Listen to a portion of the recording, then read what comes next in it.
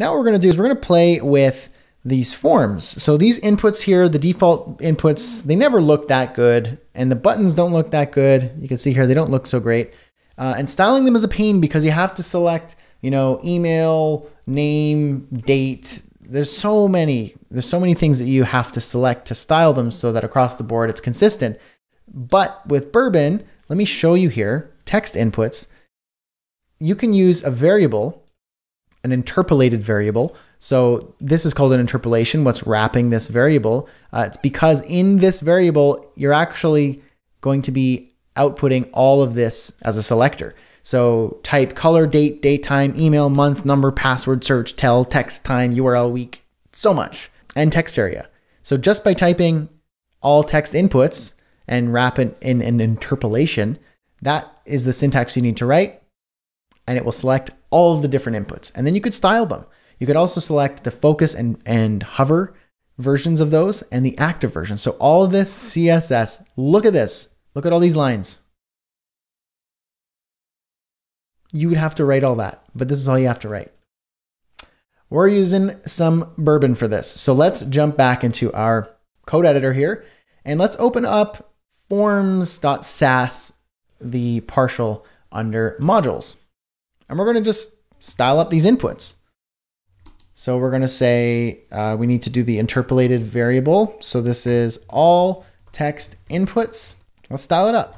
Position, relative, padding, 10 pixels, font size, base size, border, solid, one pixel, triple three, and box shadow, negative four pixels, four pixels, and zero, and triple three, four, triple four.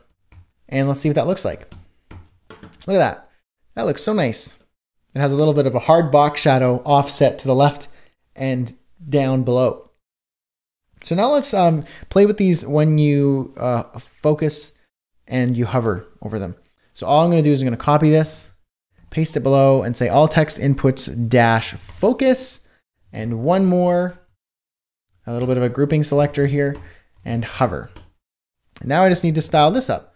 I'm to say border color, I'm going to change it to triple three. This is on focus and hover. Outline color, we're going to change it to success instead of that blurry blue one.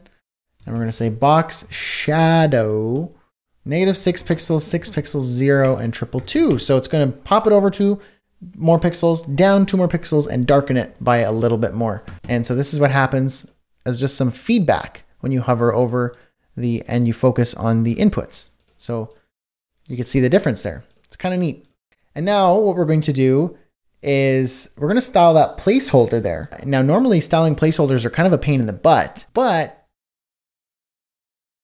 Bourbon has a really easy way of styling placeholders. So this is what it looks like. So here's the placeholder mixin, and it outputs vendor prefix placeholders for styling. So it's like this. This you all you have to type in is placeholder, include placeholder, or plus placeholder if you're using Sass versus SCSS, and then it, the output is this. Really cool. Now, the, the one note is that you have to actually nest it in a rule set. So you can't just have placeholder be floating out by itself out here somewhere because what are you what are you styling?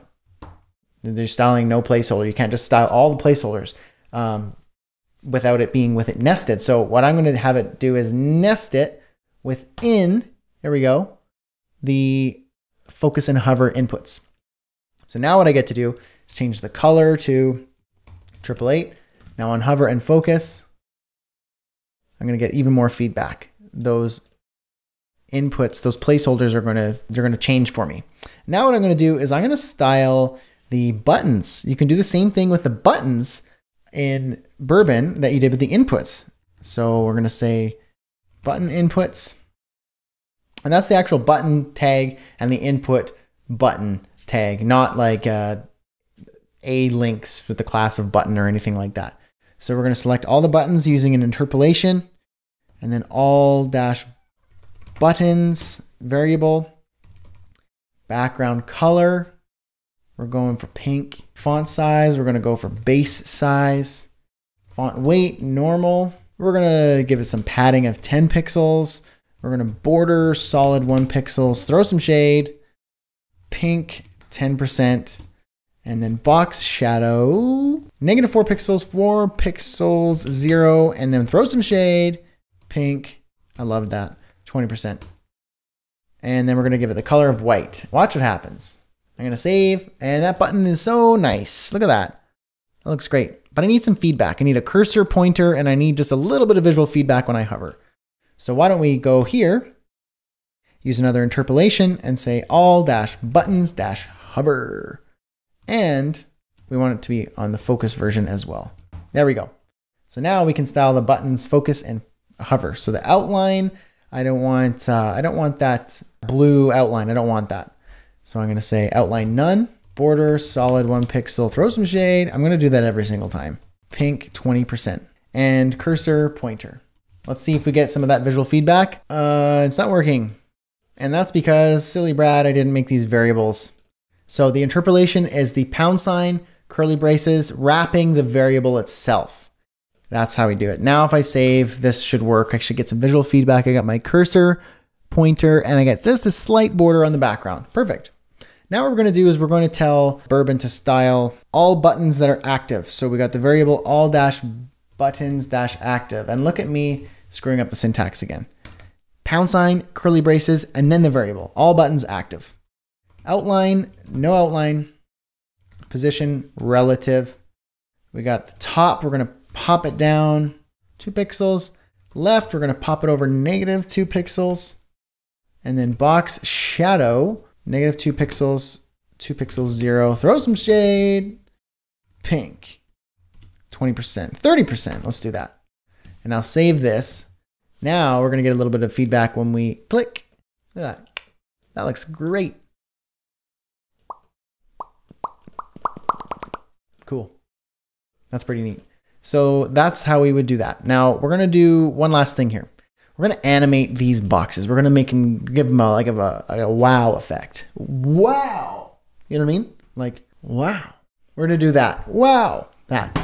So let's do that. We're gonna jump into box sass partial under modules. There we go. And what we're gonna do is we're gonna write a keyframe and then call the animation. Uh, so in Bourbon, writing a keyframe is as simple as plus keyframes and then the name of the animation itself or the name of the keyframe. And normally you'd say from, you know, the syntax would be from, and then you'd put your style, uh, what you wanted to do in here, and to, and then you put your style in here. But we're actually going to use something a little bit more specific. We're going to say 0%, 50%, and 100%. So at 0%, do this, 50%, do this, 100% do this. So let's do this. We're going to tell it to transform, and this is another mix in from Bourbon. I'm going full tilt here. We're going to scale one. So this is just saying the scale starts at 100%. It's not going to do anything at zero. But at 50%, we're going to make that transform. We're going to scale, and this is all CSS3 by the way, two. So it's going to double the size. And we're also going to rotate it negative six degrees, just like that. And now we're going to do one last thing. We're going to transform it back to scale one. So this is going to say at 0%, keep it as is. You could do something else here if you want, but keep the scale at one. We want a baseline to go from. And then 50% of the animation, this is the timeline, scale it twice the size and rotate it negative six degrees. So we're, we're here right now. We're going from zero to 50%. And then 100%, bring it back down to one, and there's no rotate. So it brings it back here. So we're going, make sense? That's what we're doing in this keyframe. And now if I save this, show you the actual output, the CSS is pretty brutal. Look at that. Oh my goodness. Look at all the CSS we would have had to write in that keyframe. And there's more. So look at all that. We would have had to write that. Who's going to do that? I'm not going to do that. So I didn't have to do that. Neither did you because this is all you had to write. That's great. So now all we have to do is call that animation, pass in a few arguments to make it do stuff, and everybody's going to be happy. So we're going to go under box here, and we're going to say when you hover on this box, this is what's going to happen. Animation. This is a mix in obviously from Bourbon, and then you call the name of the keyframe. So wow, and then the duration you want it to last for 0.5 seconds. So really short wow, you know what I mean? And then we're going to uh, use a timing function. So how do you want it to animate? Do you want it to be linear? Just wow. Or do you want it to like ease in out like wow, something like that? Or do you want to do something else more exciting?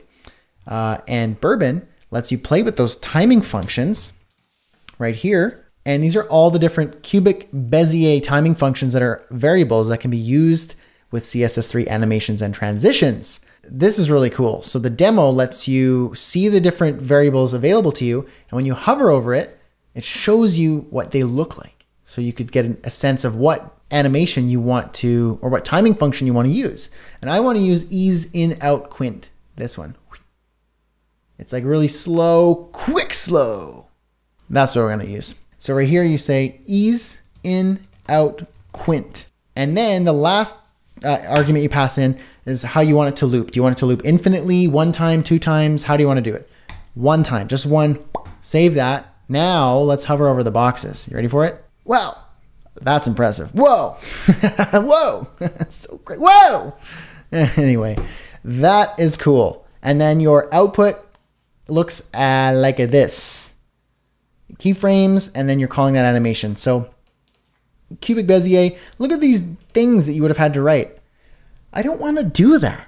I want to design sites and make websites and get paid for it. I don't want to have to write cubic Bezier functions. But with Bourbon, I can do that super easy with a variable. So that's the point of Bourbon. It allows you to, to take Sass, which is already powerful in and of itself, and then add Bourbon on top so that you can use different mix-ins and functions and variables to save you so much friggin' time. So that you can get back to what's important, building your sites, completing your projects, your applications, and getting paid for them, or whatever it is the point that you're doing it for. So that is bourbon. There's this is just scratching the surface, honestly. There's so much more to bourbon. I encourage you to go to bourbon.io slash docs and play around with the documentation, check out the change log, you know, experiment with bourbon and keep going with this. Don't just stop here and go to the next video. I want you to play more with bourbon and try different things out on this demo site or your own site. Get more familiar. Actually dive into it a little bit more and then make your way to the next set of videos and then we'll learn more about other things.